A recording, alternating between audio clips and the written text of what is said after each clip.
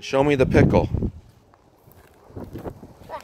Where's the pickle at? There's a pickle right here too. Look at this one.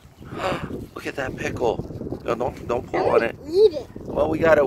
It's it's got to be a full cucumber, and then we'll make it into a pickle.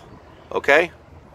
Don't pull on How it. do you make it into a cucumber? No, it, it's a cucumber. That's how God makes it. You and I are gonna make it into a pickle. That's our first one, though. How exciting is that?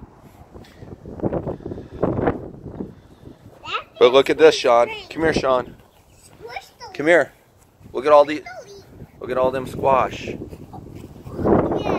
think we're gonna have squash in no time. And look at all them berries. There is so many berries. And then there's going to look at there. Look here, Sean. Look right here. This flower, and then over here we're going to get even more berries. Or yeah, more berries right there too.